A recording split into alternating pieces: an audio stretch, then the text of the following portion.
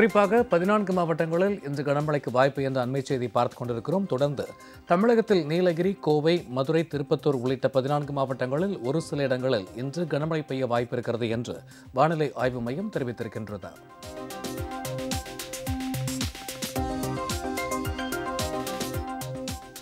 மேலும் தமிழகம் மற்றும் புதுச்சேரியில் ஓர் இரு இடங்களில் இன்று முதல் வரும் இரண்டாம் தேதி வரை லேசானது முதல் மிதமானது வரை மழை பெய்யக்கூடும்.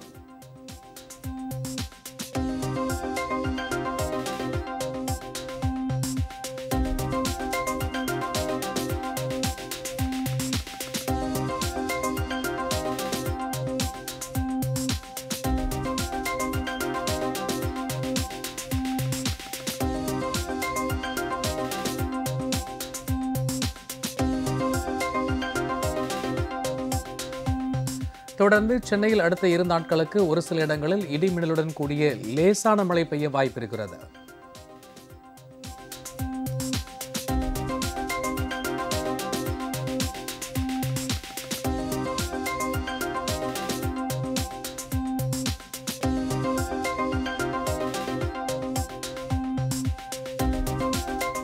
தொடர்ந்து வானிலை ஆய்வு மையம் மீனவர்களுக்கு எச்சரிக்கை விடுத்திருக்கிறது. குறிப்பாக லட்சத்தீவு தென்கிழக்கு அரபிக்கடல் கேரளா மற்றும் அதனை ஒட்டிய குமரிக்கடல் பகுதிகள் இன்றும் நாளையும் சூறாவளி காற்று வீசக்கூடும் என்றும் வானிலை ஆய்வு மையம் குறிப்பிட்டிருக்கிறது.